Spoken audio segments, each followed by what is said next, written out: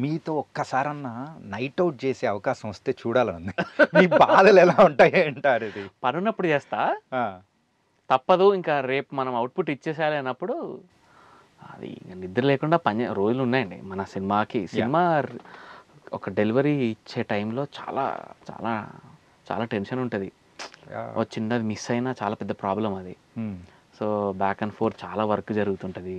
Cinema release టైంలో it's కానీ భలే ఉంటుంది. నా నాకు చాలా ఇష్టం. ఆ రిలీజ్ టైంలో చేసే పని. హడావిడిగా అసలు బయట ఏం జరుగుతుందో కూడా తెలియనంతగా ఉంటుంది అనమాట సో ఆ టైంలో చాలా వర్క్ చేస్తాను. నైట్ అవుట్లు ఏంటి? అసలు పడుకోకుండా పని చేసిన రోజులు ఉన్నాయి. సో మీరు కూడా ఒక ఒక డిఫరెంట్ వరల్డ్లో ఉన్నట్టు ఫీల్ అయిపోతారు. అంతే అండి. అంటే ఇదే ప్రపంచం అంతా మన ప్రాజెక్ట్ గురించే మాట్లాడుకున్నారుకుంటున్నారు అనే దీనిలో ఉంటాం అనమాట. అంటే ఈ కమిటీ కుర్రాలకు సో అలా నిద్రలేని రాత్రులు గడిపిన క్షణాలు ఏ సినిమాకైనా అండి అంటే. ఆ అవుట్పుట్ ఇచ్చే టైంకి ఒక చిన్న మిస్టేక్ అయినా ఇట్లా కాస్ట్ ఒక రిలీజ్ డేట్ కాస్ట్ అవుతుంది మనకి యా. సో అది మన దగ్గర నుంచి రావద్దు అది.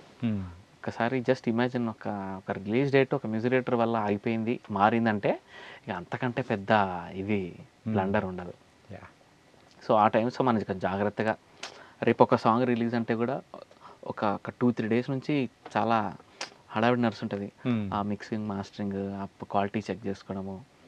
ఆడియో కంపెనీతో మాట్లాడుకోవడము ఆ థంబ్నైల్స్ ఇవన్నీ బిగ్ థింగ్ మీకు తెలిసిందే తెలియదే ఉంది మీరు ఒక చిన్న మన ఒక చిన్న ఇంటర్వ్యూ వీడియోకే మనం అన్ని ఓకేనా ఓకే బాగున్నాయి కదా ఓకే Yeah, రెడీ టు ఆ టైప్లో ఫిలిం ఫిలిం అంటే it was big thing big thing అన్ని మనం ట్వంటీ ఫోర్ క్రాఫ్ట్స్లో మరి డిఫరెంట్ డిఫరెంట్ సెక్టార్స్ని అన్ని మనం మేనేజ్. చేస్తూ ముందుకు వెళ్ళిపోవాలి ఆ టైంలో నేను నైట్ అవుట్ కాదు కదా డే అవుట్ నైట్ అవుట్ అన్నీ చేస్తాను. ఓకే ఇంకా పార్టీ వేసుకుంటున్నాము బయటకు వెళ్తున్నాము అంటే నేను సెకండ్ షోలో కూడా నాకు పెద్ద ఇష్టం ఉండదు. అంటే ఆ నిద్ర మబ్బులో సినిమా నచ్చదు. ఇప్పుడు ఒక టెన్ ఫిఫ్టీ చాలా మందికి ఆ టైంలో షోస్ నచ్చుతాయి. టెన్ థర్టీ టెన్ ఫిఫ్టీ షోలకి వెళ్తారు. నాకు అది చూస్తుంటే నాకు కొంచెం లాగానే నిద్ర వచ్చేస్తుంది సినిమా నచ్చదు. ఓకే. అందుకని నాకు మంచిగా మార్నింగ్ షోలోకి వెళ్ళడం అలా అలా ఇష్టం నాకు. ఈజ్ ఆల్సో ఫైన్ అండ్ ఇంకోటి ఏంటంటే సో ఎప్పుడైనా కానీ ట్రిప్స్కి వెళ్ళినప్పుడు మీరు అరే పడుకుంటారా కాసేపు పడుకుంటారా అని చెప్పేసి బాగా ఫుల్ అంటుంటారంటగా అంటే అంటే ఈవెన్ ఏదైనా కానీ స్విట్జర్లాండ్ లేకపోతే ఎక్కడికి వెళ్ళినా కానీ అక్కడ అందమైన దృశ్యాలు ఉంటాయి చూద్దాం అంటే కాసేపు పడుకోవాలా అనే టైప్లో ఉంటారంటగా ఈ ఇన్ఫర్మేషన్ ఎవరు ఇచ్చారో నాకు తెలుసు. వాళ్ళతో మనం తర్వాత మాట అంటే అది అలా అలవాటు అయిపోయింది అంతే. అట్లానే నేను రూమ్లోనే ఉంటాను మీరు వెళ్ళిరండి ఆ టైప్ కూడా కాదు. ఒకసారి ఫ్రీకౌట్ మొదలైతే ఇక nobody can stop. Yes కొంచెం టైర్డ్ అయితే అట్లా అనిపిస్తుంది. సో మొత్తానికైతే మంచి ఒక చిన్న గ్రూప్తో హ్యాపీగా ఎంజాయ్ చేసుకుంటూ. లైఫ్ని కూడా ముందుకు తీసుకెళ్ళిపోతూ ఉన్నారు. And coming to the music. మరి మ్యూజిక్ విషయంలో సో మీకంటూ ఒక ఫేవరెట్ మ్యూజిక్ డైరెక్టర్ వాళ్ళు పక్కా ఎవరికో ఒకరికి ఉంటారు. ఉంటాను అండ్ మీకు కూడా ఒక మ్యూజిక్ డైరెక్టర్ ఎవరది? నాకు ఇళయరాజా గారు అండ్ రెహమాన్ గారు అంటే చాలా ఇష్టం అండి. అంటే రెహమాన్ నాకు ఎందుకు ఆయన ఎందుకు ఇష్టం అంటే కన్సిస్టెన్సీ. అంటే ఆ టైంలో స్టార్ట్ అయిన మ్యూజిక్ డైరెక్టర్స్ ఎవరు ఇప్పుడు టాప్లో లేరు but he still he still there at the top అంటే ఏంటి ఆయన సీక్రెట్ నాకు అర్థం కాదు ఎవ్రీ ఫిలింతో సర్ప్రైజ్ చేస్తారు. ఎవ్రీ ఇప్పుడు మొన్న అయిపోయింది ఇంకా రెహమాన్ గారు బోర్ కొట్టేసింది అనే టైంకి పిఎస్ వన్ పిఎస్ టూ వదిలేరు. డిఫరెంట్ వైబ్ అది Yeah. మొన్న గోట్ లైఫ్ ఓకే బంగారం. అన్ని బాయ్స్ నుంచి మొదలు పెడితే ఆ ఎవల్యూషన్ ఎలా ఎవాల్వ్ అయ్యారు ఆయన? కొత్త కొత్తగా ఎప్పటికప్పుడు సర్ప్రైజ్ చేయడం. అట్లా. నన్ను చాలా తక్కువ మంది మనల్ని ఇన్స్పైర్ చేస్తుంటారు. కన్సిస్టెన్సీ. విషయంలో. అంటే ఒక మీ మ్యూజిక్లో కూడా ఎవరిదన్నా షేడ్స్ అనేది మనం అంటే ఉన్నాయని అనుకోవచ్చా మేము? అంటే ఎట్లండి? అంటే కొంతమంది మనం ఇన్స్పైర్గా తీసుకుంటాము. సో వాళ్ళ టైప్ది కూడా మనం అలాంటివే చెయ్యాలి అని అలా అలా అనుకోకూడదు. అలా ఓన్లీ నేను అదే చెప్తున్నాను. ఓన్లీ ఆ పర్సనాలిటీని మనకు ఇన్స్పిరేషన్గా తీసుకోవాలి. ఓకే. ఎలా ఎలా చేస్తున్నారు. ఏంటి వాళ్ళ సీక్రెట్ ఏంటి? అంటే వాళ్ళు ఏం చేస్తున్నారో అది ఓకే. అది. ఎట్లనే ఇన్స్పైర్ అయింది వాళ్ళు ఎలా చేస్తున్నారు అనేది ఇంపార్టెంట్. ఓకే. ఎలా సస్టైన్ అవుతున్నారు ఆయన? ఇంత టీమ్ ఓ ఈ రంగ్ దే బసంతి ఒక లగాన్. అది how is it possible? World music అని చేతిలో ఎలా తెప్పించుకోగలుగుతారు. ఇంత అంటే ఒక సినిమా రెండు సినిమాలు చేయడం ఓకే అండి. Hmm. ఇంత స్పాన్లో టాప్లో ఉండడం అనేది it's very very very difficult చాలా చాలా కష్టం. ఆ, అది అది నాకు ఇష్టం చాలా. మంచి మ్యూజిక్ అందరు చాలా మంది చేశారు. Everybody has ups beautiful music చేశారు. కానీ రెహమాన్ గారు ఎప్పుడు ఒక నార్మల్ సాంగ్ ఒక యావరేజ్ సాంగ్ వినలేదు నేను. తోప్ అన్నీ ఒక నార్మల్ అని లేదు ఏదో ఒకటి ఉంటుంది దాంట్లో. మనం ఇన్స్పైర్ అవ్వాల్సింది అమ్మా ఇలా ఇలా ఆలోచించారు ఆయన. ఈ ప- ఈ థాట్ మనకెందుకు రాలేదు అనే తెప్పిస్తుంటారు అనమాట మనల్ని కూడా ఆలోచన మళ్ళీ కూడా ఆలోచింప చేస్తుంటుంది అండ్ ఎస్పెషలీ ద కన్సిస్టెన్సీ విషయంలో నో అసలు ఎవరున్నారండి?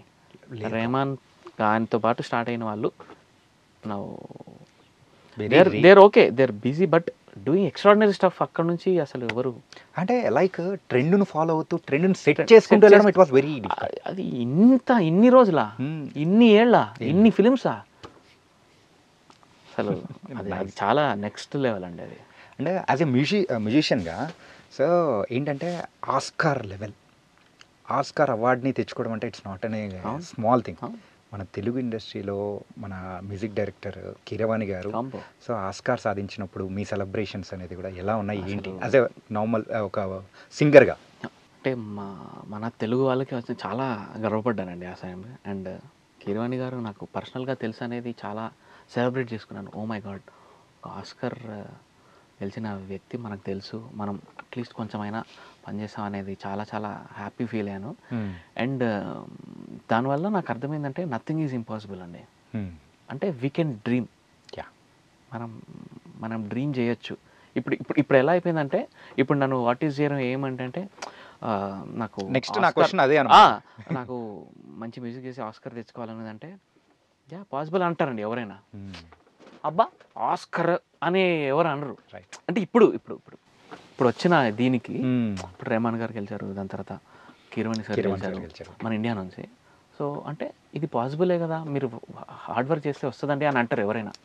ఎవరినైనా ఈవెన్ ఒక ఒక ఏమి వర్క్ చేయని ఒక మ్యూజిషియన్ దగ్గరికి వెళ్ళి వాట్ ఈస్ యర్ ఏమంటే I want to get an Oscar నా మ్యూజిక్ అంటే గుడ్ లక్ నువ్వు చేయగలుగుతావా? అని చెప్తారు కానీ ఎవరు హేళన దాన్ని అబ్బా అందం ద్రాక్ష లాగా అవ్వలేదు అది. ఒకప్పుడు మీరు ఒకప్పుడు అనిపించేది. But now it is it మన Rajamouli garu and Keeravani sir made it you know మనం కూడా డ్రీమ్ చేయొచ్చు. Hmm. మనం కూడా అనుకుంటే అది సాధించవచ్చు అనే అనే కాన్ఫిడెన్స్ తెప్పించారు. హార్డ్ వర్క్ చేస్తే డెఫినెట్గా వస్తుంది ఏది ఇది కాదు అని. Hmm. ఇంతకు మీ డ్రీమ్ ఏంటి బ్రో? నాకా? ఏమైనా ఏం డ్రీమ్ నాకు నిజంగా చెప్పాలంటే go with the flow candidate అండి నేను. ఓకే నేను ఎప్పుడు అనుకున్నవి అవుతాయో లేదో అని ఎందుకు అనుకోవడంలే అని అనే టైప్ నేను. I I'm go with the flow guy ఎందుకంటే నేను అనుకోలేదు మ్యూజిక్ డైరెక్టర్ అని Hmm. అయ్యాను. చిన్నప్పుడు సింగర్ అవుతాను అనుకోలేదు అయ్యాను. సో ఎక్కడ నార్మల్గా మ్యూజిషియన్ కాకపోయిందంటే మీరు ఎక్కడ ఉండేవాళ్ళు అనుకునేవాళ్ళు? చెప్పండి. నేను హ్యాపీగా ఏ కెనడానో ఏ అమెరికాలోనో మంచిగా పిఆర్ తీసుకొని? పిఆర్ తీసుకొని ఈ పార్టీ సిటిజన్షిప్ కూడా వచ్చేసి మంచిగా రెండు మూడు బంగ్లాలు లేపి అక్కడ అంటే మీకు తోడున్న మీ ఫ్రెండ్స్ అందరూ అలాగే చేశారా ఏంటి? అందరూ ఇప్పుడు మొత్తం అందరూ బ్యాచ్ బ్యాచ్ ఇప్పుడు. ఎక్స్ట్రాడినరీ లైఫ్ ఎంజాయ్ చేస్తున్నారు. Okay. యూఎస్లో సో అలాంటి వాళ్ళు అంటే వాళ్ళందరూ ఆ ఒక సైడ్కి వెళ్ళిపోయారు. మీరు మాత్రం ఇటు సైడ్ సో వాళ్ళు అరే అంటే మిమ్మల్ని చూసి మీతో మాట్లాడేటప్పుడు అంటే ఏం అని స్పెషల్గా మాట్లాడుతూ ఉంటారు? వాళ్ళు they are proud of me అండి ఫస్ట్ ఆఫ్ ఆల్ అంటే అండ్ అంటే అల్టిమేట్గా మనకి మనీ ఒక్కటే సాటిస్ఫాక్షన్ ఇవ్వదు. Work satisfaction is very very important and they are proud of me that నేను అనుకున్న దాంట్లో నేను I'm leading my life okay so డ్రీమ్ని achieve చేస్తూ వెళ్ళే. అంటే మనకి ఇష్టమైన పని చేయడం అనేది చాలా పెద్ద బ్లెస్సింగ్ అండి. ఇష్టమైన పని చేయడము అండ్ దానిలోనే making a living is very very big blessing అది మనకి. చాలా మందికి ఎన్నో డ్రీమ్స్ ఉంటాయి. అన్నీ ఆపుకొని ఫ్యామిలీ కోసమో కాన్ఫిడెన్స్ లేకనో వేరే దాంట్లో వెళ్ళి Hmm. ఇప్పుడు సపోజ్ మంచి సినిమా డైరెక్టర్ అవ్వాలని అనుకుంటారు ఒక ఆయన వాళ్ళు ఏదో దీనివల్ల కాన్ఫిడెన్స్ లేకుండా ఎక్కడో అమెరికాకి వెళ్ళి జాబ్ చేసుకుంటూ బా చేస్తుంటే బాగుండేది అని ఆ ఫీలింగ్ Hmm. అది లైఫ్ లాంగ్ వెంటాడుతూ ఉంటుంది సో అది లేకుండా హ్యాపీగా రూపాయి తక్కువ ఎక్కువ Hmm. మనం నచ్చిన దాంట్లో మనం నచ్చిన పాత్రలో వెళ్తున్నాం అనేది ఇట్స్ అ వెరీ చాలా చాలా సాటిస్ఫాక్షన్ ఇస్తుంది